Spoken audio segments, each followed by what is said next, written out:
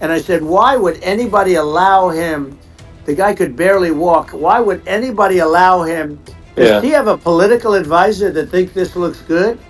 Uh, you know, he thinks this looks good because it looks so bad. And, and she is a radical left San Francisco liberal, and now she's trying to protect. Now she's looking like she's she wants to be more Trump than Trump, if that's possible. I don't think it's possible, but she wants to be more Trump than Trump. yeah. அமெரிக்காவில் பணவீக்கம் உச்சத்தில் இருப்பதாகவும் Kamala Harris அதிபராக தேர்வானால் அமெரிக்காவை அவர் அழித்து விடுவார் என்றும் Donald Trump குற்றம் சாட்டியுள்ளார். இலான் மஸ்க் உடனான நேர்காணலில் டொனால்ட் ட்ரம்ப் இந்த குற்றச்சாட்டை முன்வைத்தார்.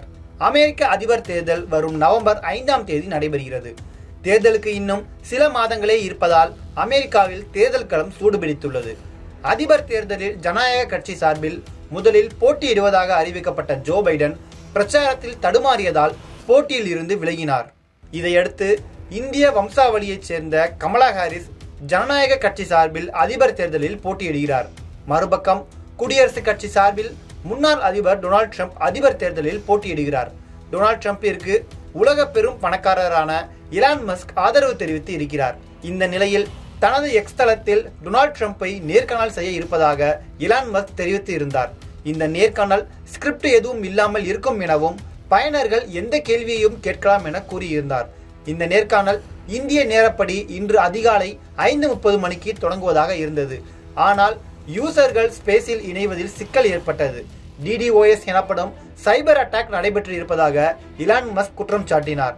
அதாவது இன்டர்நெட் டிராபிக் வழியாக சர்வரில் மொத்தமாக புகுந்து பிற யூசர்களை இணைய விடாமல் முடக்கும் ஒரு வகையிலான சைபர் தாக்குதல் என்று சொல்லப்படுகிறது.